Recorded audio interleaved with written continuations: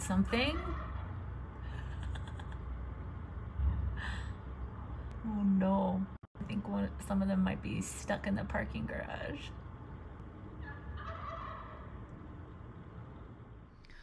I think the turkeys are safe and sound now and have gone off to safer pastures, so to speak.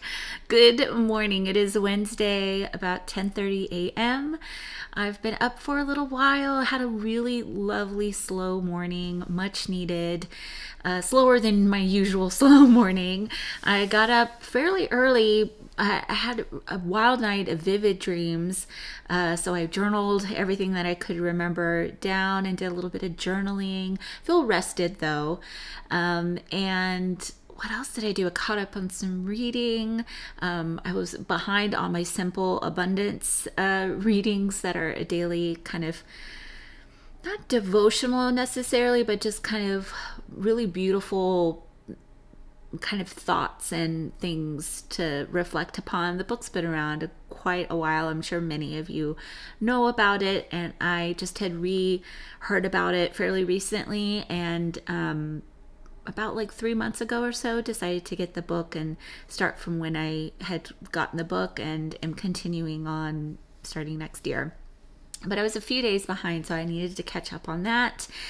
Um, and yeah, but it's been a really lovely morning. I've clocked into work already. I'm taking a little bit of a break uh, and have a little bit of stitching the high notes work to do today. Uh, I'm going to be working on a newsletter and posts and whatnot, uh, letting you all know, and I'm letting you know now too as well that I'm going to be taking a break from shipping, um, and the shop will remain open, but uh, shipping will be uh, stopping on the afternoon of Friday, December 17th, and then we'll continue on Wednesday, uh, the 29th, December 29th, because uh, I'm going to be taking uh, a little bit of time to see family, but also I just need a little bit of a break to work on a few other things for the shop to prepare for the new year and to wrap up a few things, including um, starting to work on a new bag collection that is going to go on sale on the on the 30th and 31st or 30th it'll go on sale the 30th so stay tuned for that. I'm going to take you along as i start to work on those bags this weekend.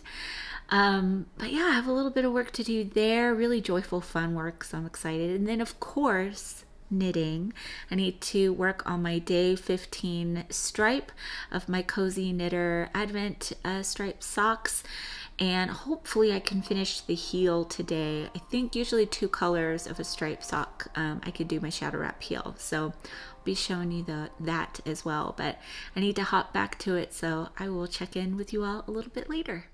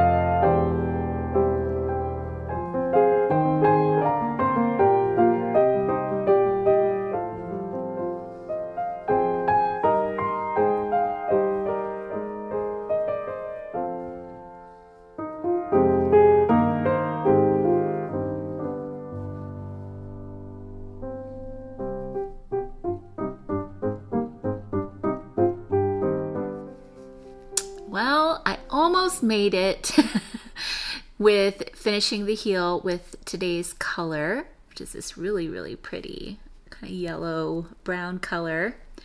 But as you can see, I've already started the red And I have about four more twin stitches on the end of the needle.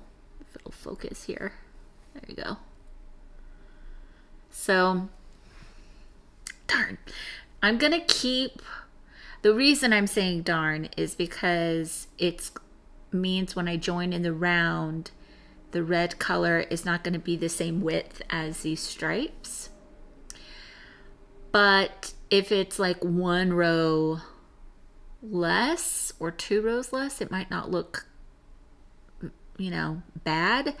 But I think I need to keep going and see what it looks like. Um, and if it looks really janky, I'm going to rip out the heel and find some uh, contrasting color yarn, like some white yarn. I do have some from, I actually do have some white yarn that would look really good with this for the holidays uh, from another pair of Cozy Knitter socks that I did. I cast on when I went to Rhinebeck so many years ago in 2017, and they're just sitting and waiting for an afterthought heel.